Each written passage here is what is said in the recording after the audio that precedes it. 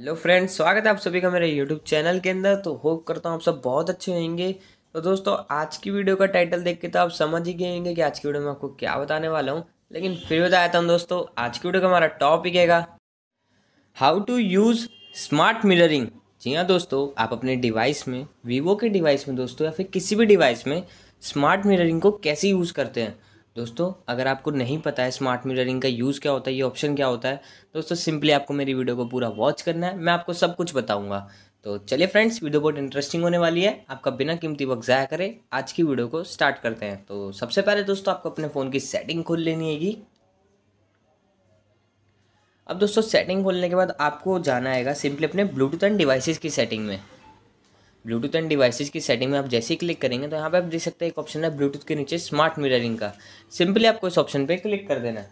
अब smart mirroring के option पे आप जैसे ही क्लिक करेंगे तो फ्रेंड्स यहाँ पे आप देख सकते हैं दोस्तों, मैं आपको बता दूँ स्मार्ट मिररिंग का यूज़ क्या होता है। दोस्तों, इसका यूज़ होता है कि आप जैसे अपना फ़ोन दोस्तों, किसी भी अपने टीवी से या फिर दोस्तों, किसी भी डिवाइस से, दोस्तों कनेक्ट कर सकते हैं। दोस्तों, जो भी आप अपने फ़ोन में चलाएँगे, जैसे दोस्तों मैंने भी अपने फ़ोन में सेटिंग्स खोल रखे तो दोस्तों, वो टीवी में भी चलने लग जाएँगे, जैसे आपका स्मार्ट मिररिंग कनेक्ट हो जाएगा।